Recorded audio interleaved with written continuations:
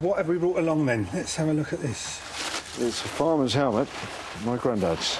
Looks like it's been through the wars or through a few fires. He was born in uh, 1892, so it's best part of 100 years old, I'm guessing. And whereabouts was this? What town? Um, he was a farmer in Sandwich in Kent. yeah. We've got a photograph of him uh, that was uh, it's dated as 1935. We believe this is him, Yeah. Tommy Farrier. It's always lovely to work on, on, on something like this. Uh, it, it, it's back in the glory days of the British Fire Service. Um, if an item like this could, could tell a story, you know, I'd, I'd love to hear it. Slight tweak at the end using the pliers. The nice dinging sound means that we're making perfect contact with the with the metal. Keep polishing the main body, start moving it in so that it's dropping into all the recesses.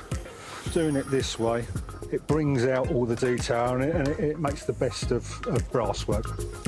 Now all that's left to do is carefully reassemble this beautiful piece of firefighting history.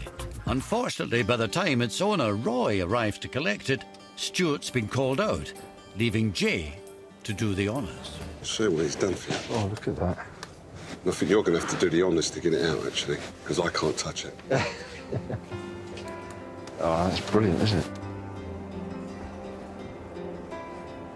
He's obviously dressed the back because this was badly creased. Yeah, And he's repaired, all, he's fixed all the straps as well. yeah.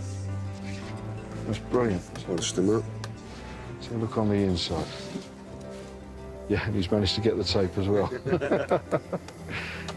it's great. Yeah? Yeah, that's absolute. I'm very happy. It's super. He's done you First proud. rate. He's done you proud, then.